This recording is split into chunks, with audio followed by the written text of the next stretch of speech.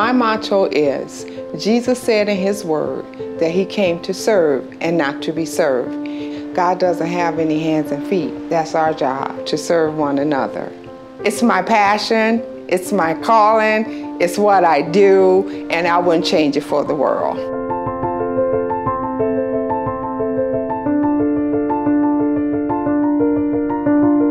My Anita, my esteemed colleague and friend. my spiritual carrier.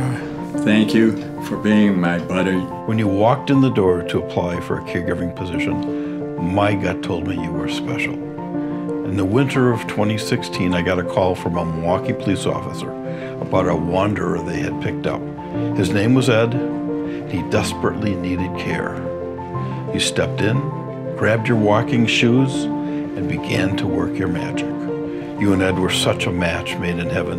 Whether playing cards or your weekly trips to the thrift store in search of the ugliest shirt, you always turned the mundane into something fun. You were my voice when I needed you. Thank you for helping me on my spiritual journey, for helping me do something that was very important to me.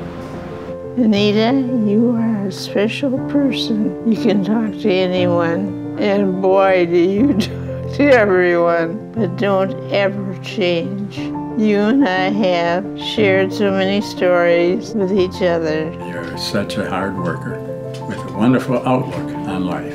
You brought my attitude down, and it's helping me to become a better person.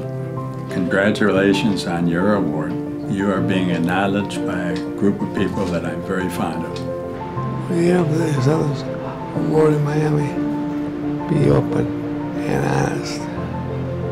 Use your voice to show them who you are. Don't stay in Miami. Remember to come back home.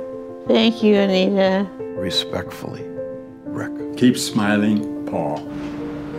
Love, Doug.